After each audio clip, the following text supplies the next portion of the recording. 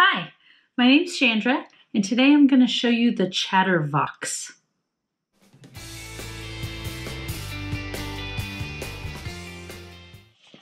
The Chattervox comes in a nice canvas case.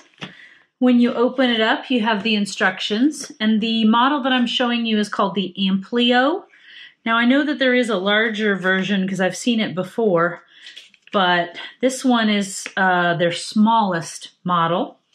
And what a chattervox is for is for somebody with speech or communication issues. It's an amplifying device to make it so that they can be heard. So uh, if you go to their website, they say it's you, it's just you louder.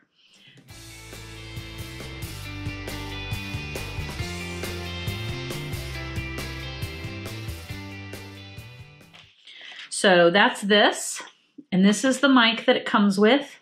It's very thin kind of flesh toned colored. So let me put this on. And then it comes with a power cable for the device. And it looks like it's a micro USB. This is the device itself and it's inside of its pouch that it comes with. So you can see this is a, a small speaker. It's got some uh, the battery door on the side. On the top, it's got uh, a light.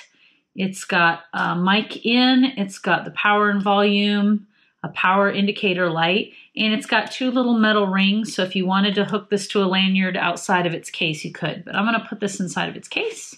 Oh, it also has a belt clip on the back. So you can put your belt through these two loops or you can wear it around your neck. I'm going to wear it around my neck. So recharge time is six to eight hours which seems like a long time to me actually. Let me untangle this a little bit. But they say 12 hour battery life. Now on their website they'll say all day battery life and what they mean is 12 hours and then six to eight hours to recharge. This is very simple to use. You simply plug in the mic. Okay, so I've got the boom mic here and it's just a rolly dial for on. And I'm gonna turn the volume up. Let's see, Okay, all the way up. That is maximum volume. But now let me see how quietly I can whisper. So even if I'm whispering, I think you could probably hear me pretty clearly on the on the camera.